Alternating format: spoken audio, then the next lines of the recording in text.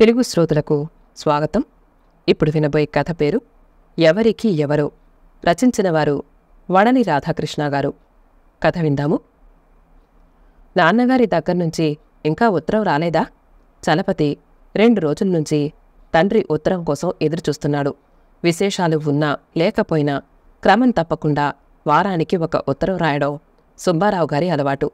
ఉద్యోగరీత్యా చలపతిరావు గారు అతని భార్య రామలక్ష్మి. కలకత్తాలో ఉంటున్నారు. కొత్తగా పెళ్ళైన యువజంట స్వేచ్ఛగా ప్రణయ విహారం చేస్తున్నారు. రామలక్ష్మి తల్లిదండ్రులు చలపతి తల్లిదండ్రులు వాళ్ళ వాళ్ళ స్వస్థలాల్లో ఉంటున్నారు. వీళ్ళిద్దరూ చలపతి ఉద్యోగ బదిలీల వల్ల దేశమంతా తిరుగుతున్నారు. రామలక్ష్మి తండ్రి ఇంకా సర్వీస్లోనే ఉన్నారు. ఆ ఊళ్ళోనే ఉద్యోగం చేస్తున్న కొడుకు చదువుకుంటున్న ఇంకో కూతురు ఉన్నారు. రామలక్ష్మికి తల్లిదండ్రులను గురించిన చింత ఎక్కువ. ఎప్పుడైనా అడపాదడపా గుర్తొచ్చినప్పుడు ఒక ఉత్తరం ముక్క రాసి పడేస్తుంది. ఎంతసేపు తను తన భర్త సంసారం ధ్యాస ఆ అమ్మాయికి. చలపతిరావు సంగతి వేరు. ఎప్పుడూ అతనికి తల్లిదండ్రుల ధ్యాసే. వాళ్ళుండేది కనీస సదుపాయాలు కూడా లేని మారుమూల ప్రదేశం. ఫేండ్ర గ్రామం. సుబ్బారావు గారు స్కూల్ టీచర్గా చేసి రిటైర్ అయ్యారు పెద్దలిచ్చిన ఆస్తి కానీ ఉద్యోగం చేసి ఆయన సంపాదించి నిల్వ చేసుకున్నది కానీ ఏమీ లేదు. జీతం డబ్బులతోనూ డిపార్ట్మెంట్ ఇచ్చే రుణ సదుపాయంతోనూ ఎలాగో అమ్మాయి పెళ్ళి అబ్బాయి చదువు బాధ్యతలు నెరవేర్చుకున్నారు. వాళ్ళిద్దరూ స్థిరపడిపోయాక సుబ్బారావు గారు భార్య సూరమ్మ పెన్షన్ డబ్బులతో ఉన్న ఊళ్ళోనే కాలక్షేపం చేస్తున్నారు. ఉద్యోగం వచ్చిన కొత్తలో సుబ్బారావు గారికి ఇంకా ఉద్యోగం చేస్తూ ఉండడంతో చలపతి ఒంటరిగానే ఒక రూంలో ఉండేవాడు. ఎప్పుడైనా సెలవు మీద వెళ్ళి తల్లిదండ్రులతో రెండు రోజులు గడిపొచ్చేవాడు. చలపతికి చిన్నతనంలో హోమ్ సిక్నెస్ ఎక్కువగా ఉండేది. తల్లిదండ్రుల్ని వదిలి ఉండాలంటే బెంగపడేవాడు. ముఖ్యంగా అతనికి తల్లి అంటే ఎంతో ప్రేమ. అమ్మ అమ్మ అంటూ కూడా తిరిగే చలపతిని చూసి అమ్మ కూచి అని అందరూ ఏడిపిస్తూ ఉండేవారు. సాధారణంగా అందరికీ వయసు పెరిగే కొద్దీ అమ్మానాన్నల మీద శ్రద్ధ తగ్గుతూ ఉంటుంది. కానీ వయసుతో పాటు అతనికి తల్లిదండ్రుల పట్ల ప్రేమ మమకారం పెరుగుతూ వచ్చింది. రెండు రోజులు సెలవు వస్తే చాలు. తన పల్లె వేండ్ర వెళ్ళి తల్లి ఒడిలో వాలిపోవాలని తాతహలాడిపోయేవాడు దూర ప్రయాణం కావటం వల్ల ప్రయాణంలోనే ఎక్కువ సమయం గడిచిపోయి ఇంట్లో ఉండే కాలం తక్కువగా ఉండేది. రెండు మూడు సంవత్సరాలు ఉద్యోగం చేశాక రామలక్ష్మితో చలపతిరావుకి వివాహం జరిగింది. అమ్మానాన్నల అభిప్రాయాల్ని తూచా తప్పకుండా శిరసావహించే చలపతి వాళ్ళకి నచ్చిన పిల్లనే చేసుకున్నాడు. రామలక్ష్మి అతనికి చాలా బాగా నచ్చింది. అయితే రామలక్ష్మికి అతనికి స్వభావరీత్యా చాలా వ్యత్యాసం ఉంది.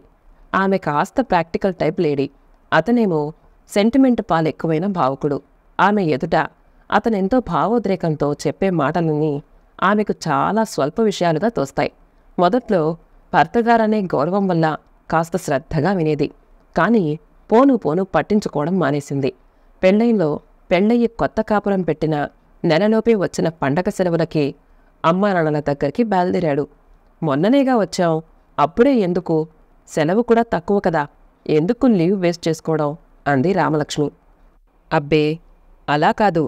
అమ్మా నాన్న అక్కడ ఒంటరిగా ఉన్నారు.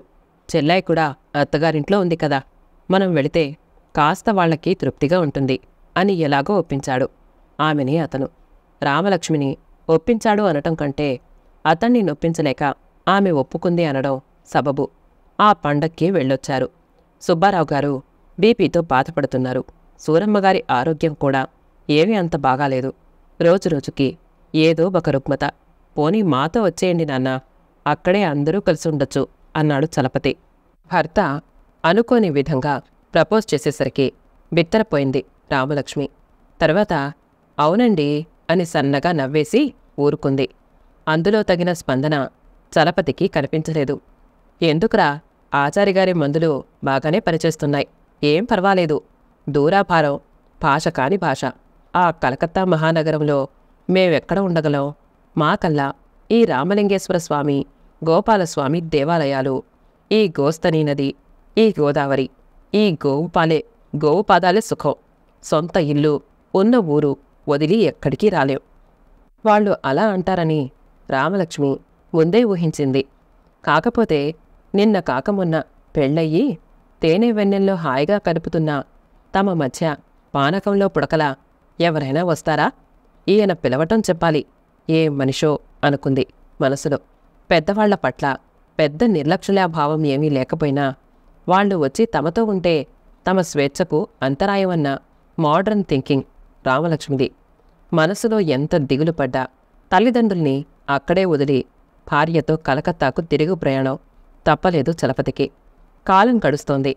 మూడు సంవత్సరాలు ఉద్యోగం చేసిన కలకత్తా మహానగరాన్ని వదిలేసి బదిలీ మీద హైదరాబాద్ చేరారు. మోహన్ ఖాళీ చేసిన పోర్షన్లోనే చలపతి రామలక్ష్మి చేరారు. అన్ని వసతులతోనూ ఉన్న మూడు గదుల పోర్షన్ పక్క పోర్షన్లోనే ఓనర్స్ ఉంటారు. వాళ్ళు ఇద్దరే భార్య భర్త. పిల్లలు ఉద్యోగరీత్యా విదేశాల్లో స్థిరపడిపోతే వీళ్ళిద్దరూ ఇక్కడే ఉండిపోయారు. ఇద్దరూ వయోవృద్ధులు. ఆయన గవర్నమెంట్లో మంచి పొజిషన్లో ఉండి రిటైర్ అయ్యారు. అమ్మాయి అమ్మాయి అంటూ ఆవిడ రామలక్ష్మిని ఆప్యాయంగా పలకరిస్తూ ఉంటుంది. అప్పుడప్పుడు పది నిమిషాలు ఆయన కూడా వచ్చి చలపతితో పిచ్చాపాటి మాట్లాడి వెళుతూ ఉంటారు. ఈ కొత్త స్నేహంలో రామలక్ష్మికి విశేషం కనబడలేదు కానీ చలపతిరావుకి మాత్రం ఆత్మీయత కనిపిస్తోంది. హైదరాబాద్ నుంచి వేండ్ర పెద్ద దూరం కాకపోయినా ఇంతవరకు తల్లిదండ్రుల దగ్గరికి వెళ్ళలేకపోయాడు. మనసులో ఆత్మీయత లోపించి దూరం పెంచుకుంటే అనుబంధ బాంధవ్యాలు దూరం దూరంగా ఉండిపోతాయని బాధపడుతూ ఉంటాడు.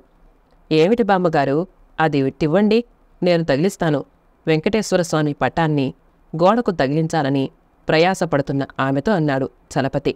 తాతగారేరి ఫోటో తగిలించి సరిగ్గా ఆనిందో లేదో గమనిస్తూ అడిగాడు. పార్కుకి వెళ్ళారు వస్తారు. కాఫీ తెమ్మంటావా బాబు? ఆవిడ ఆప్యాయంగా అడిగింది. ఇంట్లో మంచి మోడల్ ఫర్నిచర్. దేనికి లోటు లేదు. మార్బల్ టేబుల్ మీద ఇద్దరి పిల్లల ఫ్యామిలీ ఫొటోస్ అందంగా లామినేషన్తో కలర్ఫుల్గా ఉన్నాయి. వద్దండి. మీ భాస్కర్ పద్మజల దగ్గర నుంచి లెటర్స్ వస్తున్నాయా? ఆ నెలకొకటి తప్పనిసరిగా రాస్తారు. ఆవిడ నిర్లిప్తంగా ఫోటోలు చేతిలోకి తీసుకుని పమిట కొంగుతో ప్రేమగా తుడిచింది. తాతగారు రిటైర్ అయ్యాక మీరు వాళ్ళ దగ్గరికి వెళ్ళిపోయి ఉండాల్సింది. అన్నాడు. ఆవిడ మెల్లిగా నవ్వింది. ఒకసారి వెళ్ళొచ్చాం. అక్కడ ఇమడలేకపోయాం అక్కడంతా ఒక్కటే వేగం. క్షణం ఆగి ఒకరిని ఒకరు పలకరించుకునే తీరికుండదు. కుటుంబంలో భార్య భర్త పిల్లలు అంతా అంతే. ఎవరి ప్రపంచం వారిది. నిమిషం విశ్రాంతి ఉండదు. ఏదో వింత ప్రపంచం. వచ్చేశాం. అవును. కర్మభూమి అనుకునే మన దేశంలో మనిషికి మనిషికి మధ్య అంతరా అంతరాలు అగాధంలా పెరిగిపోతూ ఉంటే ఈ భౌతికవాదంలో కూరుకుపోయిన విదేశాల విషయం చెప్పాలా? రెక్కలొచ్చిన పక్షుల్లా పిల్లలు ఎక్కడెక్కడికో ఎగిరిపోతూ ఉంటే వెంట పరిగెత్తలేని పెద్దవాళ్ళు పుట్టి పెరిగిన గట్టనే నమ్ముకుని తమ పాత ఛాందసాలతో కాలం గడిపేస్తున్నారు. వాళ్ళని చూస్తూ ఉంటే చలపతికి తన తల్లిదండ్రులు గుర్తుకొస్తారు. వాళ్ళు తమ పట్ల చూపిస్తున్న అఫెక్షన్లో అతని మనసుకు గొప్ప అనుభూతి లభిస్తోంది. ఈసారి పండక్కి తాతగారిని మామ్మగారిని లంచ్కి పిలుద్దాం అన్నాడు చలపతి.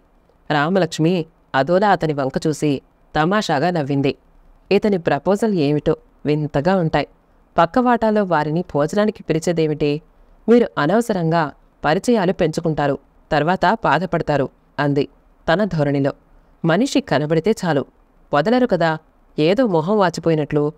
పరిచయం కాదది అనుబంధం నీకర్థం కాదులే మొహం వాచిపోయినట్లు మనిషి కనబడితే చాలు వదలను అన్నావు కదా. అతను ఆమె వాడిన మాటకి కాస్త నొచ్చుకున్నాడు. నిజంగానే లక్ష్మి మనిషికి కావలసినంత డబ్బు బిల్డింగ్స్ ప్రాపర్టీస్ ఉంటే చాలు అనుకునే మిథ్యా ప్రపంచంలో నువ్వున్నావు. మమకారం ఆత్మీయత తన వాళ్ళ అనురాగం మనిషికి అంతులేని సిరి సంపదలనని నువ్విప్పుడు గ్రహించలేవు. నిజంగానే నేను అమ్మానాన్నల ప్రేమకు మొహం వాచే ఉన్నాను. ఏదో బలీయమైన శక్తి. నన్నిక్కడ వాళ్ళకి దూరంగా కట్టి ఉంచిన నా మనసు మాత్రం మన వేండ్రలో వాళ్ళ చుట్టూ పరిభ్రమిస్తూ ఉంటుంది. లక్ష్మి నా ఈ చిన్న జీవితంలో నేను పోగొట్టుకుంటున్న అనురాగం అపురూపమైనది అనంతమైనది. అందుకే వాళ్ళ ఆదరణకు నేను మనస్ఫూర్తిగా లొంగిపోయాను. వాళ్ళు కూడా దూరంలో ఉన్న పిల్లల్ని తలుచుకుని ఎంతో దిగులు పడుతున్నారు. వాళ్ళు ఇక్కడికి రాలేరు. వీళ్ళు అక్కడికి వెళ్ళలేరు. మనం ఇక్కడ వీరిని ఆదరిస్తే మనలా అక్కడ మన వారిని మరొకరు ఆదుకుంటారని నా గట్టి నమ్మకం. ఈ ధన ప్రపంచంలో మనిషికి మనిషి దూరమైపోతున్నాడు. డబ్బుకి చేరువవుతున్నాడు. డబ్బు తాగి డబ్బు తిని డబ్బునే మనసావాచ ఆరాధించి తనలోని మనిషితనాన్ని మంచితనాన్ని కోల్పోతున్నాడు. వాళ్ళ ఆప్యాయంలో నేను తల్లిదండ్రుల అనురాగాన్ని అనుభవిస్తున్నాను. వాళ్ళు తమ బిడ్డలతో ఉన్నట్లు ఆనందిస్తున్నారు. ఈ బంధుత్వం నిజం కాకపోవచ్చు ఈ బంధం శాశ్వతం కాకపోవచ్చు. కానీ మనిషి తనెక్కడ ఉన్నా అక్కడ ఈ ప్రేమను ఆదరాన్ని రంగరించి మమతల కోవెల నిర్మించుకుంటాడు. అతను ఉద్రేకంగా మనసు వెప్పి చెప్పుకుపోతున్నాడు. రామలక్ష్మి వింతగా అతని వంక చూస్తూ అతని మాటల్ని వింటోంది. అతని మనసులోని దిగులు వేదన ఆమెకు అర్థమవుతున్నాయి. సంధిస్తే అత్తమావులు తమ మధ్య తిష్ట వేసుకుంటారని తమ స్వేచ్ఛకు భంగం కలుగుతుంది అని ఆలోచించింది కాని తన అవివేకంతో అమూల్యమైన కుటుంబ సంబంధాల్ని దూరం చేసుకుంటోందా? ఎప్పుడూ? చెప్పుల్లో కాళ్ళు పెట్టుకునే వస్తారు కానీ నాలుగు రోజులు సెలవు పెట్టి వస్తే మాకు తృప్తిగా ఉంటుంది అని దిగులుగా పలికే అత్తామామలు గుర్తుకొచ్చారు. ఉన్న ఒకటి రెండు రోజులు తమ పట్ల అపరిమితమైన అనురాగాన్ని చూపి ఆ క్షణాలు శాశ్వతంగా గుండెల్లో పదిలపరుచుకునే ఆ వృద్ధుల ఆరాటం తాను అర్థం చేసుకోకపోగా ఏమిటో ముసలాళ్ళు అంతా చాదస్తో అనుకుంటుంది. తన ధోరణికి మురిపెంగా విసుక్కోకుండా రామలక్ష్మి ఏదో ఆలోచనలో పడడం అతనికి వింతగా అనిపించింది. ఆమె ఏం ఆలోచిస్తోందో తెలియకపోయినా బహుశా రేపు తమ వార్ధాక్యపు దశలో తాము కూడా ఇటువంటి భావ సంఘర్షణకు అతీతులం కాదేమో. మామగారు రేపు మనింట్లోనే పండగ చేసుకుందాం. మీరు తాతగారు పొద్దున్నే ఇక్కడికొచ్చేయాలి. అని రామలక్ష్మి అన్నప్పుడు అతనికి విస్మయంతో పాటు ఆనందాన్ని కలిగించాయి. ఎందుకమ్మా ఇప్పుడు నీకు శ్రమ అందామె మురిపెంగా. అబ్బే శ్రమ ఏమిటి? మీరు మా కోసం చేయటం లేదు చెప్పండి మనస్ఫూర్తిగా అంది రామలక్ష్మి. ఈసారి యాన్యువల్ లీవ్ ఓ ఇరవై రోజులు పెట్టండి. అక్కడ ఇక్కడ సగం సగం గడిపేద్దాం. పెళ్ళయ్యాక మా ఇంట్లోనూ పట్టుమని పది రోజులుండలేదు. అమ్మ ఉత్తరాల్లో ఒక్కటే గోల. నాకు అందర్నీ చూడాలని ఉంది. అన్నట్టు తాతగారి చిన్నబ్బాయి నెల రోజుల పాటు ఉండేలా సెలవు మీద వస్తున్నాడట ఫ్యామిలీతో. వాళ్ళకి దిగులుండదు. మనం లేమని. ఏమంటారు? ఇది పరిష్కారం కాదు కానీ కొంతలో కొంత తృప్తి. ఉద్యోగ పర్వంలో కుటుంబ సభ్యుల మధ్య ఈ అగాధం అనివార్యమేమో. ఏది ఏమైనా రామలక్ష్మి తన ధోరణిలోకొచ్చి ఆలోచించి తన జీవితంతో పాటు తన మమతల కోవెల్లో కూడా దేవతగా రూపుదిద్దుకోవడం శుభపరిణామంగా అనిపిస్తోంది. చలపతిరావుకి శుభం. కథ సమాప్తమండి. కథ నచ్చితే మా ఛానల్ని లైక్ చేయండి షేర్ చేయండి సబ్స్క్రైబ్ చేసుకోండి. మళ్ళీ కలుద్దాం ఇంకో మంచి కథతో.